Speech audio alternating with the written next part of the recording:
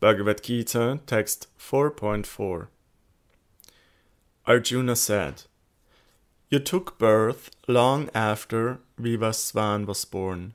How then am I to understand that you instructed him previously? Although the historical legacy of the doctrine of yoga is itself impressive, Krishna's alleged involvement in it is bewildering to Arjuna.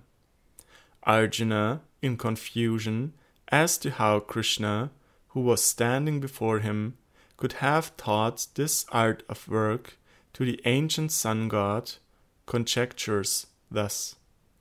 If Krishna taught this to the sun god, it certainly testifies to his own divinity, for it is improper for humans to instruct gods, and unusual for them to remember their previous lives.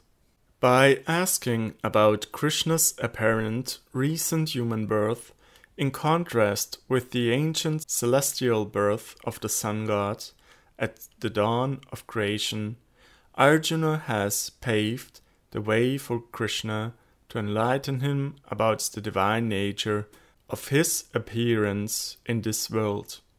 In this way, he is inching a discussion centered on self realization in the direction of God realization.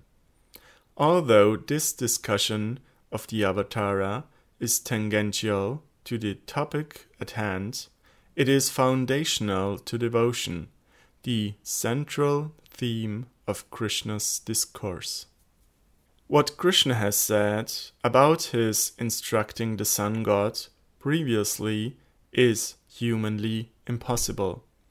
If Krishna taught the sun god in another body, he could not remember it in his present human body.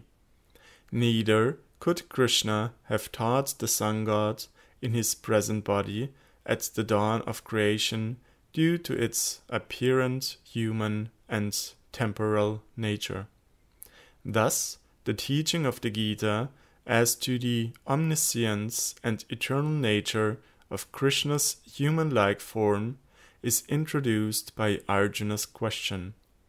Although Arjuna knows that Krishna is God, his friendship with him sometimes covers that knowledge.